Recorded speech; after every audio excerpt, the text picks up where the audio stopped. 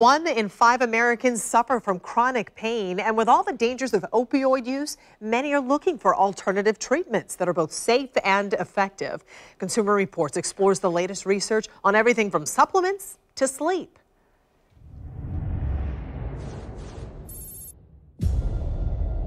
Nancy Ortiz has been in pain for years. I feel the pain in my low back very strong and in in the morning I can't even walk. She's been working with a pain management doctor.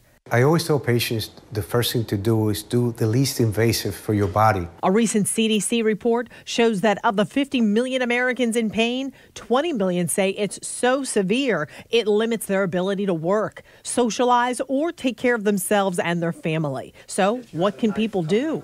There's no magic bullet lasting solutions are usually made up of several different kinds of treatment. The American College of Physicians recommends trying non drug measures first. Consider types of exercise that incorporate mindfulness, like Tai Chi and yoga. Acupuncture and massage have also shown to help some with chronic back pain and fibromyalgia.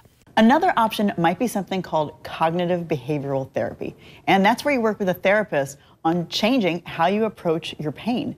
Many turn to supplements, but for most, there's no data to show those work. But there is preliminary research to suggest that cannabidiol, or CBD, the non psychoactive compound in the marijuana plant, can reduce the inflammation.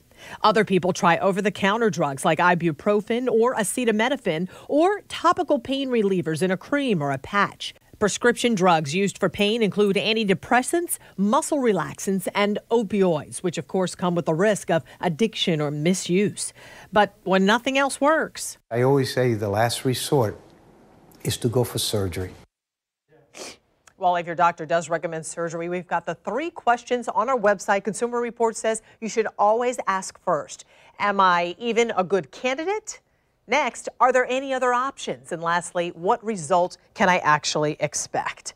Right now, if you're struggling with addiction or you know someone who is, we have a special section on news4jax.com. It has direct access to both local and national resources. To help fight this epidemic, just head to news4jax.com slash opioids.